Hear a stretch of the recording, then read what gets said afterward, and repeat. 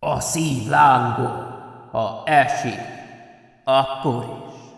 Sziasztok, ez itt a heti animék Bridges verziója, immáron a Thousand Year Blood War 5. epizódjával.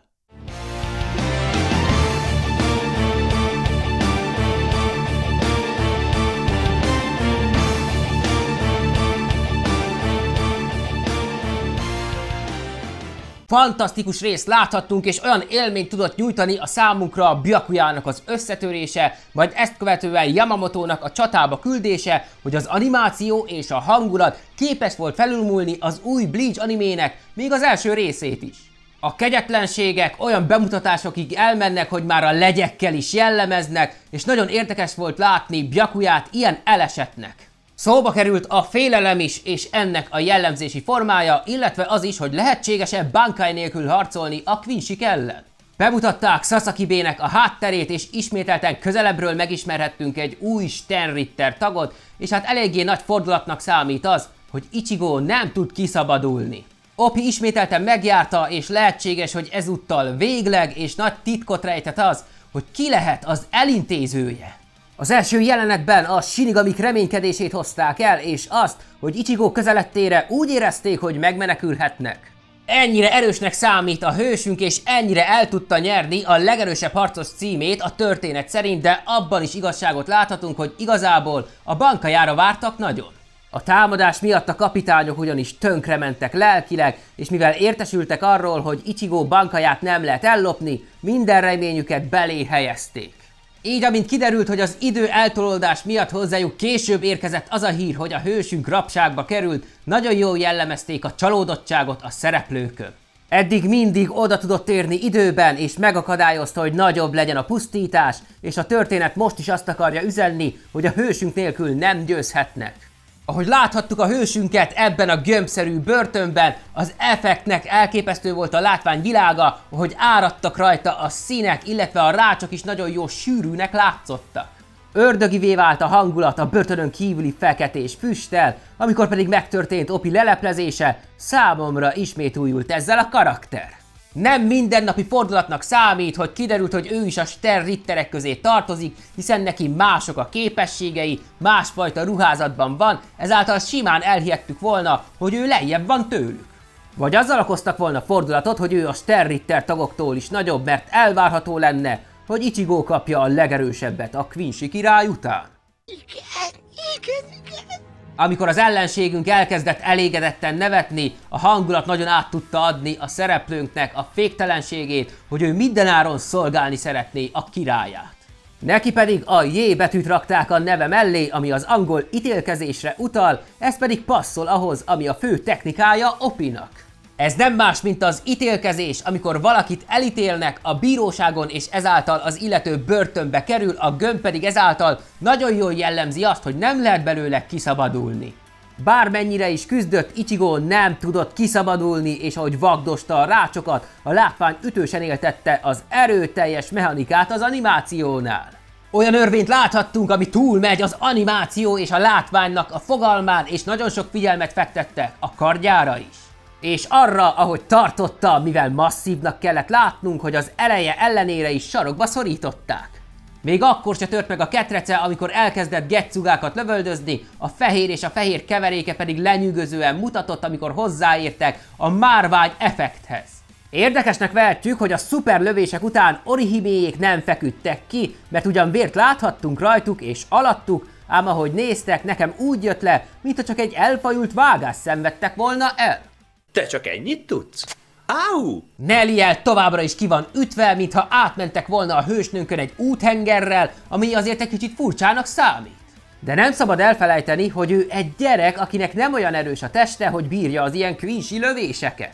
A szál persze csinálhatna vele egy fordulatot, de abban is bízhattunk volna, hogy Urahara csinál majd egy nagy meglepetést, azonban a történet egyelőre tartogatni szeretné a kalaposunkat. Valóban meglett az Opi elleni csattanó, hogy kiharcolhatna vele Ichigo helyett, csak hogy Orihiméjék oldaláról senki se lehetett az, mivel a lecsapáskor mutatták a döbbent reakciójukat. Egy vörös hasítás lett a képernyőn élethű látványvilággal, illetve hanggal, és olyan jó volt az élményünk, mintha a valóságban lettünk volna egy szamuráj kart bemutatón. Míg az effekt őrítően látványos lett és simán elbánt Topival, vagyis az illető ereje minimum olyan erős lehet, mint a Steinrittereké. Vagy annál is erősebb, hiszen nem biztos, hogy az illető csak kihasználta Opinak a figyelmetlenségét. Ugyanis lehet, hogy egy nyílt küzdelemben is ennyi lett volna neki az ellenfél, aki Ichigót is meg tudta szívatni. Az biztos, hogy kardja is van, hiszen Urahara közelről is meg tudta nézni. Azonban ez nem adta még meg a választ az illető kilétére, hiszen mostanában minden szuperlénnek van zampaktó-szerű fegyvere. Amikor elárulta a történet, hogy nőtt valójában egy férfi, engem ez meglepetésként ért, hiszen voltak az ellenségnek olyan nézetei, amikor nőnek látszott. Lehet, hogy a haja viccelt meg, és nagynak is gondoltam, hogy Byakuya érdekesebb harcot vívhatna az új ellenfele ellen, ha egy nővel lesz dolga. A hanggal azonban megtörték a nő képet, és akik úgy jártak, mint én, hogy azt várták, hogy amint a maszk lehullik róla, akkor egy látványos és kemény hősnő lesz belőle, azok úgy jártak, mint én.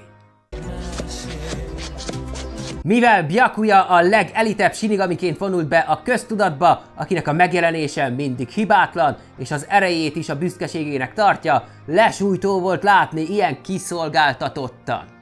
Így, amint az ellenség elhangoztatta, hogy a nagy kapitány elkezdett félni, ez akkor is igaz lett volna, ha a történet ezt nem mondatja ki vele. Ha visszaemlékezek arra, hogy Byakuya milyen menő szokott lenni a sikaj módjában, ugyanúgy rózsaszín szilmokat látok magam előtt, amik eszméletlenül tudnak vágni. A Bankai mód csak annyi extrát ad a számára, hogy több szirommal rendelkezik, gyorsabb és erősebb, valamint jobban tud vágni, illetve a Senbonzakura nagyobb területen tud bekebelezni. Viszont a Siká is enged neki annyi szírmot, hogy akár több ellenfélnek is neki tudjon menni, az egy-egy elleni csatákhoz pedig ugyanúgy tökéletes a forma. És mivel nem erősítette meg azt a történet, hogy a Bankai ellopásakor a Sikait is ellopják a Quincy, azt kell gondolnunk, hogy Byakuya ugyanúgy rendelkezik a Shikai módjával. A gyorsasága a Bankai nélkül is nagynak számít, és ezúttal se tértek ki a hadó technikákra, vagyis a hősünk esetlensége azért lett, mert úgy érzi, hogy a Bankai nélkül semmit se ér. Ez jelenti a büszkeségét, és emiatt helyezte olyan magasra magát, illetve a házát, és ilyenkor nagyon védtelennek érzi magát, valamint olyannak, mintha kitették volna őt egy hideg helyre csupaszon. Az ellenség elhitette vele, hogy szüksége lenne a bánkájra, és pont az erők ellopásával ütötték meg a Quincyk úgy a sinigamikat, mintha manipulálnák őket. Ezért láthattuk reszkedni a hősünket, ami még sose történt meg Byakujával a történet folyamán, és úgy látszott a helyzete, mintha emberként szállna szembe egy szörnyel. Pedig a vívás eredendően a tudása alapján van, és nincs köze a formáihoz, amiből kaptunk egy hatásos akciót, amikor dühösen fel akarta rázni magát. Folyékonrajzos volt a mozgás, és nagyon átjött Byakujának az akarat ereje, de ez nem volt igazi kitörés, ezért várható volt, hogy ő fogja húzni a rövidebbet.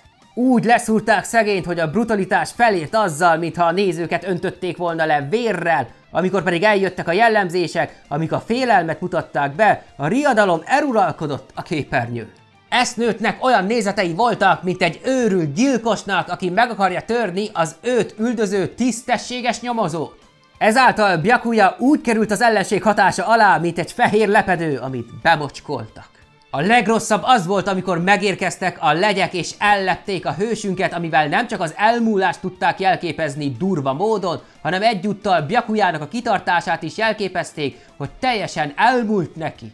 Nem aprózták el a legyek számát, és annyira élethű volt a hatás, hogy a hányinger is rám jön, ha visszaidézem. Megtudhattuk azt is, hogy mi a Bankai lopónak a célja, és kiderült, hogy a Quincyhez kerülnek az ellopott bankajok, ezáltal ők is tudják használni őket. Ezzel nem kis fordulat lett, hogy megtudtuk, hogy hová kerülnek az erők, és ahogy Esznőt kieresztette a Szembon Zakurát, a hatás olyan volt, mintha Byakuya egy részét átállították volna a gonoszokhoz. Egyedül a szín nem passzolt, amivel jelzést kaptunk arra, hogy az erők most másokat szolgálnak, minden más olyan volt, mint az igazi Szembon Zakura Kagayoshi jelenete. Kipipálhatjuk a színek táncát is, ahogy átváltoznak a pengék virágáradattá, és ugyanaz a legendás zene szólt, amivel Byakuya erejét jellemezték. Renji sajnos olyan, aki betartja a parancsokat, pedig korábban érezhettünk tőle olyanokat, amikor egy kicsit lázadni szeretne, és lehet, hogy ezúttal is így kellett volna inkább viselkednie.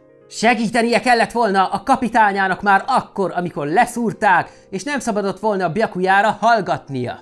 Mivel látszik, hogy a hősünk el akart esni a csatában, és nem akarta, hogy Renji is vele bukjon. Ahogy a szírmok szálltak forgószélként, a rajzolás frenetikus volt, főleg akkor, amikor eltalálták Byakuját, mivel a szírmok akkor is fényesek és részletesek voltak, amikor érintkeztek a testével. Elég lett volna, ha egyszer eltalálják, hiszen ezzel is nagy fájdalmat tudtak volna okozni a Byakuya fanokban, de azzal, hogy kétszer is eltalálták a hősünket, ezzel őrítő fájdalmat tudtak kelteni a rajongókban. Így is sok sérülés lett a hősünkön, ám igazából ramatyabb állapotba kellett volna kerülnie, hiszen ez a szirom mennyiség darálja a húst. Ezért vagy Byakujának a teste számít ennyire ellenállónak, vagy a készítők nem szerettek volna túl nagy kegyetlenséget tenni a képernyőre, hiszen így is nagyon szomorú az, amit a kapitányjal tettek.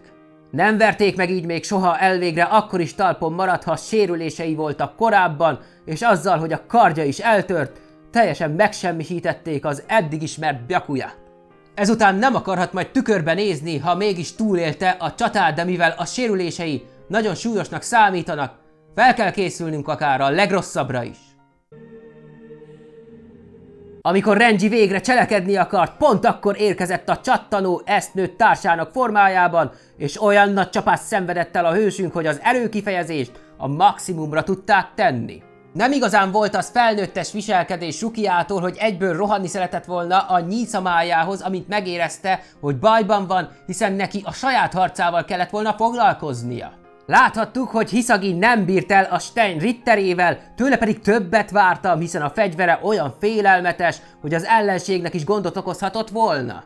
Lehet, hogy a lándzsahajítás zavarhatta meg, noha az ő fegyverével el lehetne képzelni, hogy vissza tudja verni a támadásokat is. Vagy rá is lelkileg hatottak, mert kiderült, hogy ez a Stenritter végzett Sasaki B-vel. Akinek a Driscoll Bercsi nevet adták, az ő specialitása pedig a tömegpusztítás, ami nagyon illik az erejéhez. Egy mozdulattal is kivégezhet valakit, és ahogy megcsinálta a lándzsát, csodálatosan mozgott az effekt.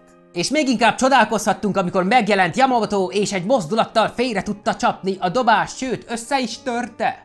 A történet ekkor mutatta be az öregünk megismerkedését Sasaki B-vel, és ahogy láthattuk a fiatalabb verziójukat, jól választottak kinézetben. Ütősnek számít az is, hogy az Ejisai névvel talált közös szárra a két szereplő, ami Yamamoto-nak a sebb helyére utal. A nappali környezettel olyan volt a hatás, mint egy művészi szamuráj történet, ezt pedig fokozták Sasaki-be bankájával. A hősünk a kardjával is elitnek számít, amikor pedig megjött ez a felhőszerű ereje, még inkább megvolt az elites érzés, de amikor a villámok kötelekké változtak és rátekeredtek a kardjára, ez már művészeti iránynak számít. Ez a bankáj egy elegáns előadásnak fogható fel, a csúszáskor azonban harciasabb lett a látvány, és bámulatos tett volt, hogy meg tudta sebezni Yamamoto-t. Arra is választ kaptunk, hogy maga a Gendrusai név is Sasaki-be által születhetett meg, mivel a kétszeres sepphely ezt hozta ki. Sasaki-be bankája Bercsinél is áldáz volt, és leengellőnek számít, hogy semmit se ért az öregünk ellen, aki úgy állt, mintha esőben lenne. Igaz, hogy a ruházata megsérült, de a dühét óriási minőséggel tudták tenni a képernyőre, és azt kell gondolnunk, hogy Yamamoto szerint az erők az új tulajdonosuknál nem számít annyira erősnek, mint az igaziaknál. Lehet, hogy Sasaki-be emlékét akarta megvédeni, de ha mégse, Byakujának se kellett volna ennyire kikészülnie. A tűz a korábbi Bleach animében is elképesztő szintben van, most azonban olyan csodát alkottak a készítők, hogy ez a szint mesterfoknak számít. A hang is eszméletlen, ahogy ropogtat, és az áldozat elemésztése is, amikor pedig kiderült, hogy az öreg repülni is tud a tűzzel, az eszem is megállt. Olyan, mintha egy tűzgolyó repült volna az égen, ráadásul neki maga a sikály módja is annyira erősnek számít, hogy csak pár bánkáj versenyezhetne vele. Elárulta a történet, hogy nem csak Ichigo az, aki megvédheti Szerrejtejt, és ahogy Kronyakuék bereklámozták a főkapitánynak az erejét, a hangulat a csúcsra tört.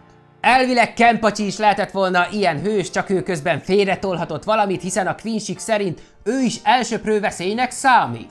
Az új ábrázolással erőteljesebb a jelenléte, és jó poént adtak azzal, hogy a látottakon kívül intézte el az ellenfeleit. Mind olyan akcióknak tűntek, amik nagyon látványosnak és mutatósnak lehettek volna bemutatva, ha bővebben láthatjuk őket, de így is átjöhetett a számunkra, hogy Kempacsi nagyon kegyetlen és mészáros volt.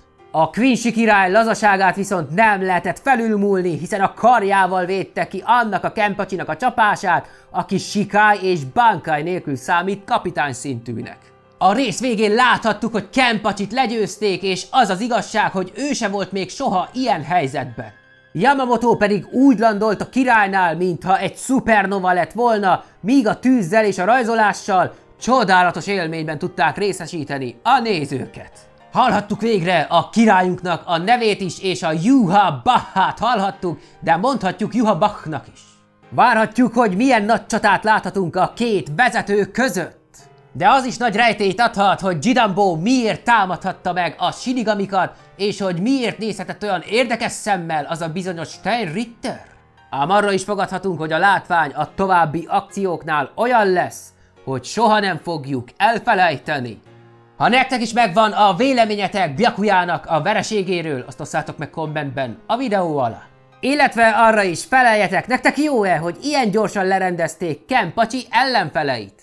Ez volt a heti animék bridges változata erre a hétre, vagyis az ezer éves vérháború. Találkozunk a legközelebbi alkalomkor. Addig is hellóztok!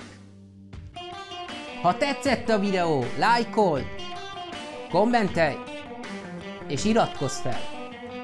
És keresd a csatornát a további tartalmakért.